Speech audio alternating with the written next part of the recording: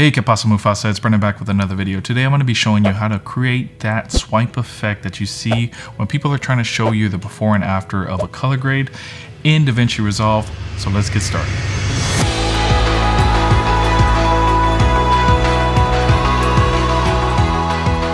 Alrighty, to do that swipe effect is super easy. This video is going to be super short, so let's get right into it. First, what we're going to want to do is we're going to want to open up DaVinci Resolve then the next thing we're gonna do, we're gonna, let's just open up a new project, start from scratch, and we're just gonna color, color grade swipe.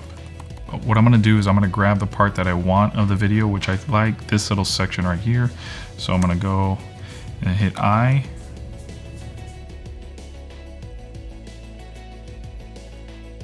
and then hit O. Alrighty, so now that we have that little section that we want selected, I'm gonna grab it and drag it into the timeline. And then before we start color grading, we're gonna grab this file, we're gonna click on it, hit option, and we're gonna copy it. Now we're gonna go to our color grading.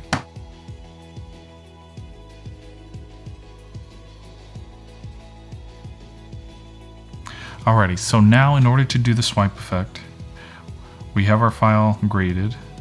Two clips, one is graded, one is ungraded. You want to bring the ungraded clip and keep that one on the bottom and you want to push the graded clip to the top.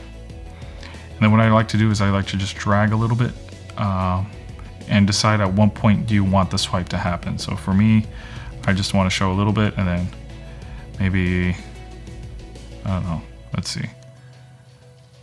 Maybe there. So like one or two seconds of ungraded and then the swipe will happen. So in order to add the swipe, it's super simple.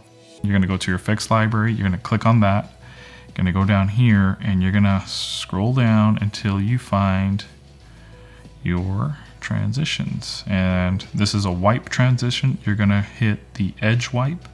You're gonna grab it and you're gonna drag it onto your top clip here. And let's play it back and see what happens.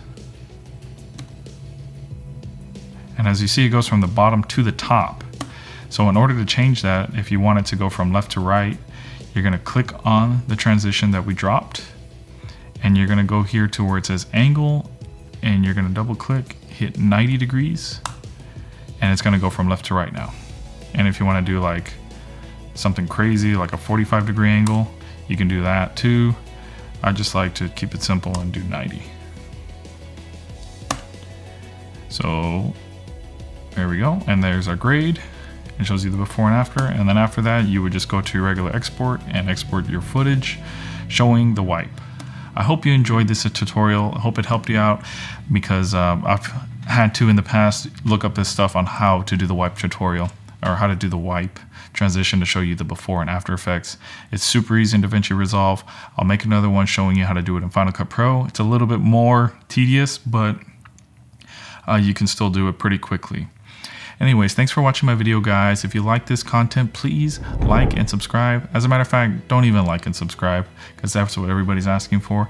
Just keep watching my videos. I really appreciate if you did. At least hit the like button and comment down below if you want to see any other tutorials on how to edit. And I will see you guys in the next video. Peace.